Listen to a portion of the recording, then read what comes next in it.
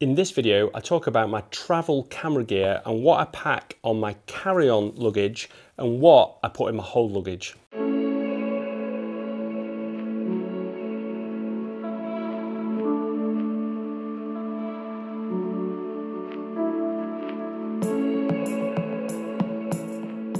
Morning everybody, fantastic to see you all again. So what I'm going to do today is talk all about my gear and what I take with me on a trip. I'm just about to go to Iceland, so I thought it'd be a good opportunity to show you how I ensure I get my um, weight and size limit onto my carry-on bag and what I decide and what decisions I make for my hold luggage as well. So the first thing to say is I take two carry-on bags. The first one's my laptop bag and I can put other things in there like cables and I'll go through that in a little bit more detail. And then I've also got this bag which is a, a Tenba bag. I'll link all the details in, in below but this bag here, probably just see it, is just about fits most airline limits. It's about, I think it's about 43 centimeters long, um, which is that well within most height limits and it's certainly wide and, and, fat enough to go in all the limits as well.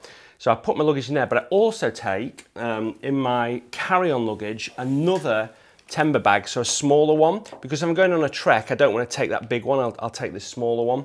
Um, so that's my bags. So first of all, let me talk about what I take on my carry-on luggage. That's probably best. Um, so obviously I've got my cameras um, and my lenses. So I've got a Nikon Z6 with a 14 to 30 millimeter lens. And um, I always put the lens on the body because I feel like that's the most compact way of, of carrying it. So i will just put everything in the, in the actual bag as I, as I talk about them. So stick that in. And then I've got a, uh, Z7 as well with a 24 to 70 lens in. In this trip, I'm not going to be taking my Fuji. I'm actually recording on my Fuji at the moment um, because I tend to now on trips take both Nikons. Sometimes I'll take my Fuji as well. Or if I'm just going on a walk or just want a really light camera, then I'll take my Fuji. But most of the time now I take both my Nikons. It just makes it a little bit easier um, in terms of lenses. So I've got my Z7 and a 24 to 70 on that. So I'll stick that in. And then I have got my 70 to 200. So that's basically the, the uh, holy trinity of lenses basically. It takes me from 40 millimeters all the way up to 200 millimeters. This is a really old 70 to 200, but it still works really well.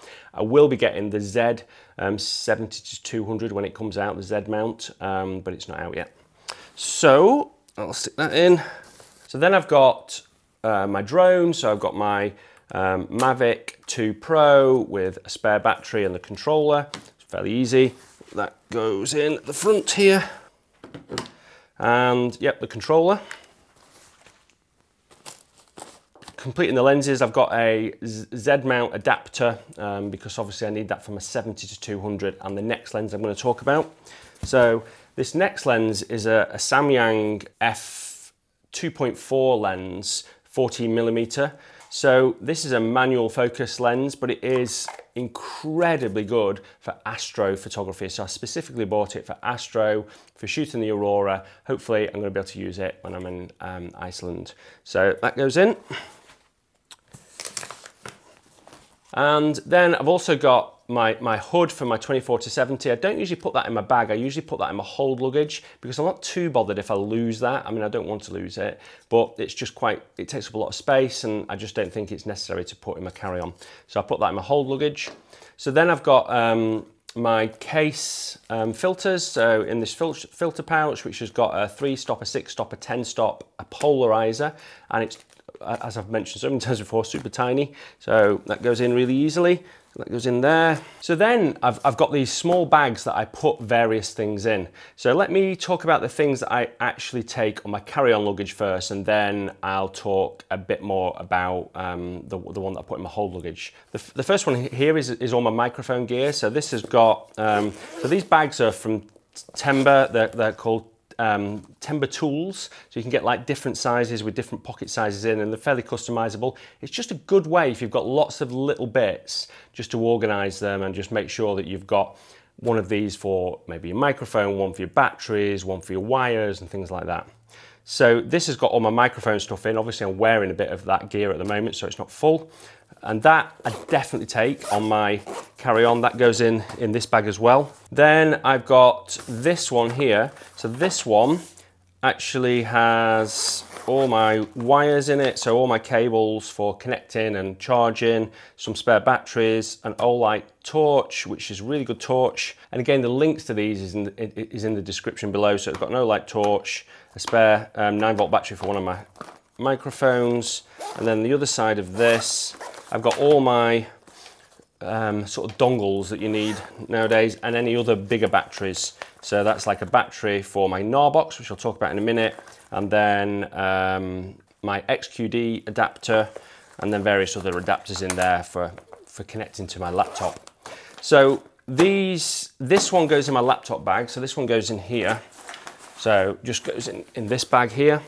And then this one, which has got all my cleaning gear in. So this has got like a sensor brush, just, just in case I get dust, which in Iceland there's a high likelihood of happening. So I can just brush it off. I've got a swab in there. Um, I've got some shower caps to go over my camera if it's raining, some spare shower caps.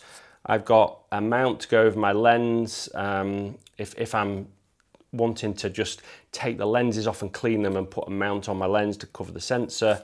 I've got a spare microfiber cloth and a blower and some lens wipes, which I don't really like using because they're not great for the environment, but if I have to, then, then I've obviously got those. And then I've also got other microfiber cloths as well um, that I put in my camera bag. So I'll stick those in. And this one, this cleaning kit goes in my hold luggage because if I actually lost my hold luggage, it wouldn't be the end of the world if I lost this. Be, I really want it, but it wouldn't be the end of the world. So that goes in my hold luggage. Then the final things are these here. So I've got a battery, goes in my luggage. Um, I've got a SSD drive, a really tiny SSD drive that's got my Lightroom catalog on. So that means that when I'm looking at my photos, I can import them directly into my actual Lightroom catalog um, and then any edits I do, any categorization I do whilst I'm away is just in my main catalog. So I put my Lightroom catalog on there and that goes in my laptop bag. And then I've got an SD card and XQD card holder here, which has just got a lot of cards in. So yep, that goes in my camera bag. And finally, I just want to speak about um, Pebbles is interested in this part as well. This, which is the NAR, Gnarbox 2.0. So I've had this for quite a while. I can't remember how long now, maybe three or four months. Um, and I was sent it for free. Um, so I'm really lucky to get, to get it. But I didn't do a review and there was loads of people talked about them because I have to admit, I didn't really find it that useful. Um, you know, it's got a lot of amazing functionality that allows you to connect to it wirelessly with your phone, look at all the things you've downloaded to it and then and then downloaded. But I've tried really hard to use it um, and then use it as from a battery point of view, you know, when I'm on location. But if, if I'm honest, I don't, I don't think it's worth the amount of money that that it costs, which I think this is something like for the one terabyte, something like 800 pounds or something. Um, now, it's not that I don't use it, because I actually do use it. Um, as, as at the end of the day, I get back and I just plug my SD card or whatever card into this. You you know, it's got lots of different, it's got a, a slot for an SD card, it's got USB-C, and you can just plug your card into it and then you can just click a button and it downloads and it's super easy just to back your stuff up. So as a secondary backup, it works really well. But I just don't think for the cost of it that I could recommend it to anybody to, to spend any money, which I feel bad about because they've given it given it me for free and they'll probably never give me anything again. But they're, they're my thoughts uh, and they're honest. so um, yeah, I thought I'd mention it. I still do use it. I still always take it. So I feel even worse I still use it. But um, I don't think I'd spend that much money on it. I think you can, you know, I always take a laptop as well, and uh, just for a little hard drive that maybe costs eighty pounds, you can you can do the same. It just takes a little bit longer. So there we go. Actually, there's one other thing I want to talk about. I was going to go through all my clothes as well, but I think I'm going to do that when I get back. Um, so in a couple of weeks. Um, that I use for winter. But one other thing that I, I, I definitely want to talk about is my gloves and, and what gloves I use when I'm doing photography because I've just replaced my really old ones. So let me just go and get them one second. Okay, so I went a little bit further to get them. I'm in Iceland now, and you can see I'm at the amazing Stokksnes, which is just incredible. We've come down in the morning, we've got this amazing sort of frost on the black sand as well. So I'm going to be taking a picture really quickly. But I wanted to talk about these gloves. So I've got these sort of innards here, which are great just when I want to use my camera. And then when I just want to warm my hands up, I can just stick them really easily in my mittens. And I find that's really, really helpful for my photography. Just quickly, whilst I'm here, one other thing just to talk to you about is the tripod that I take. Um, and I don't take a really big tripod usually when I'm, when I'm um, traveling, just because I find that a, a medium-sized one is good enough and you know fairly lightweight. So I've got this one here, just take you off there. So I've got the Benro iFoto FIF 28C and that works really well. And it's also got like a ball head which works really incredibly well. Okay, I need to get photographing now. Back to me in the studio.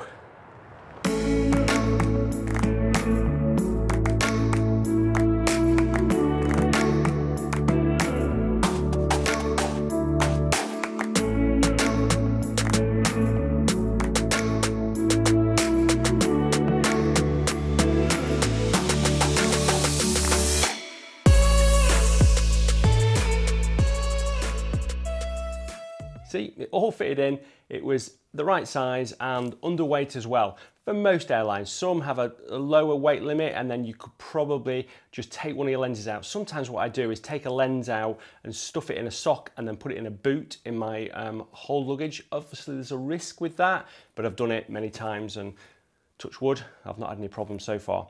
So I just want to talk about giveaway. So I've got these um, Tenba tool bags, which are really, really useful. And I've got some spare ones of them that I want to give away. So if you want to win um, a set of these Tenba tool bags, then all you've got to do is share your best idea your best travel tip idea for when you're packing your, your luggage. It might be something you take with you, it might be a way you pack it, it might be just something you thought that just makes such a big difference. So a hack, a tip or a trick, share it in the comments below and I'll pick out the best one in a couple of weeks and I'll send you out um, the selection of, of, of bags from, from Tenba, which are fantastic.